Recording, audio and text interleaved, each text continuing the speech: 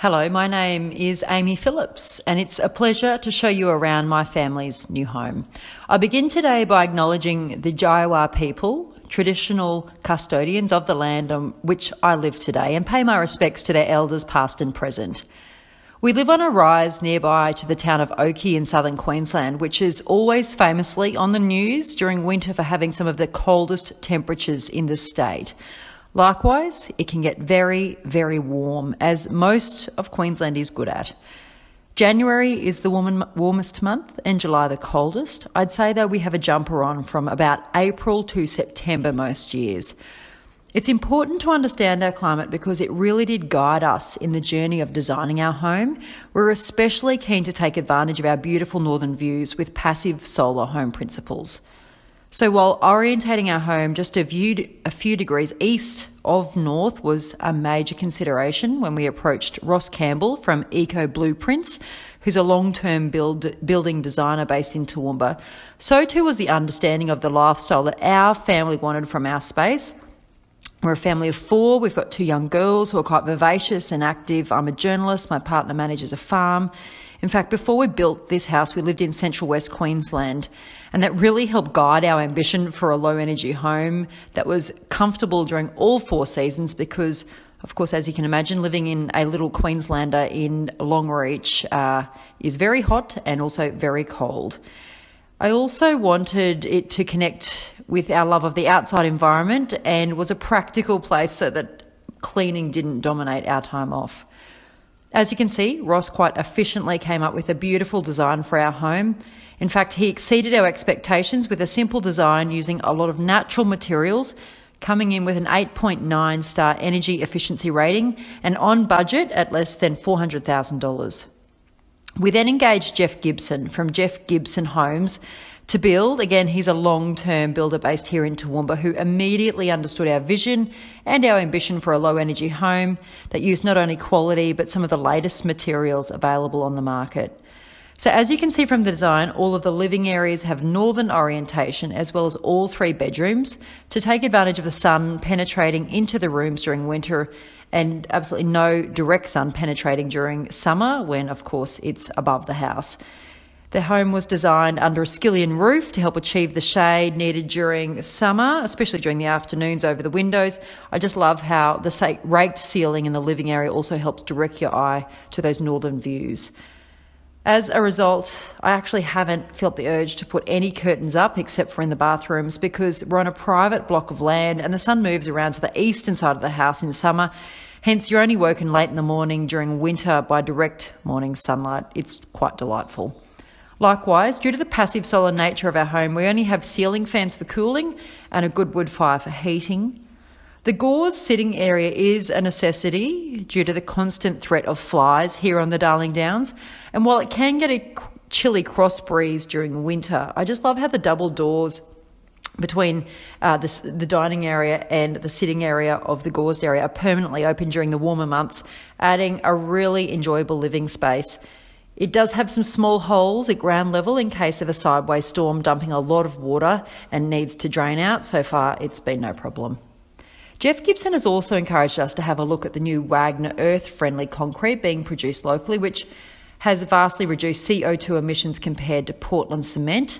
It does cost more, but it's great to know the product has no concrete, sorry, it's great to know the product has no cement the biggest contributor to the carbon footprint of a build, and it was also really fun to try a new product on the market.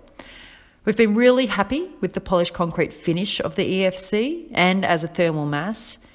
Anywhere the sun hits, it's toasty warm, which helps to bring the temperature of our home up during those cooler months. Likewise, a hot day is easy to tolerate if you close the house up completely during the middle of the day, kick your shoes off, and really allow that refreshing coolness of the concrete to work its way up your legs.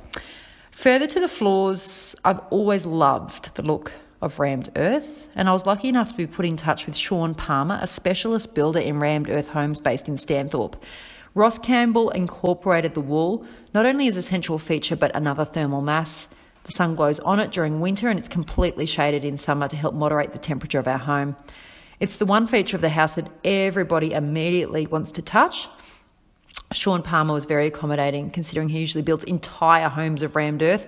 It's a product, though, that should be on everybody's material wish list. Further, I just couldn't go past the low E glass timber windows and doors. While they do require maintenance, they really increase the quality feel of the home and have greatly have great insulating properties, so contribute to the comfort as well. We were very bold with the amount of glass on the northern side of the house, kept the southern windows modest and only one small window to the west. Ross Campbell cleverly suggested higher windows rather than installing clerestory windows, of which I can guarantee I would have never have cleaned. The tops of the windows and doors that we've got though are easy stool height, making cleaning and maintenance simple. Our views are very special, so the windows help frame them beautifully.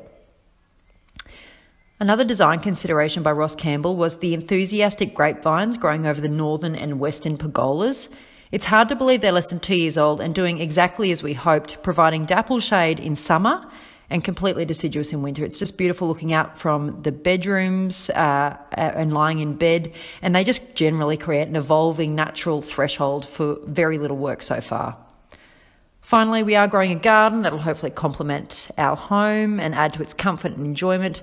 I just love it though how our home is built on ground level and creates a seamless transition between the structure and outside, encouraging us all to uh, move out into that space. Unfortunately, though, growing big trees to the west of the house is out of the question because we're completely off grid with a solar system and batteries installed in the shed to the south of the house. Forbes Batteries in Toowoomba handled the install and continue and continue to remotely monitor the system, which gives me great gives us great peace of mind. Now, they've got a few facts here for me to give you. They say we have a 10 kVA inverter it's capable of 8 kilowatts of power continuously, but can surge up to 20 kilowatts. We've got a lithium battery bank of 3.5 kilowatt hours per battery. Uh, we've on the roof got 7.5 kilowatts of solar panels, which is capable of 26 kilowatt hours of solar yield on average per day. We have an inverter with a generator um, connected to it to back us up if we need to. Interestingly, the generator yet has not automatically kicked in because the batteries are doing f- just fine doing the heavy lifting and on average return to about 100% capacity within three hours in the morning. So by 9 or 10, we're back at 100% battery. Um, as a result, apparently Forbes say our home usually demands about 20 to 30% of battery use every 24 hours. Overall, the home is incredible to live in. It's comfortable. We have a medium blanket on our beds probably all year round. The kids are even happy to wear summer pajamas in the cooler months. Such is the constant temperature inside, thanks to our very efficient home and fireplace, which provides enough heat to warm even the furthest room. It really surprised me actually how easy it was to achieve an 8.9 energy efficient home. But a good building designer, a good builder, as well as orientation, did and continue to do all the heavy lifting. Our thanks to both Ross Campbell and Jeff Gibson for taking us on.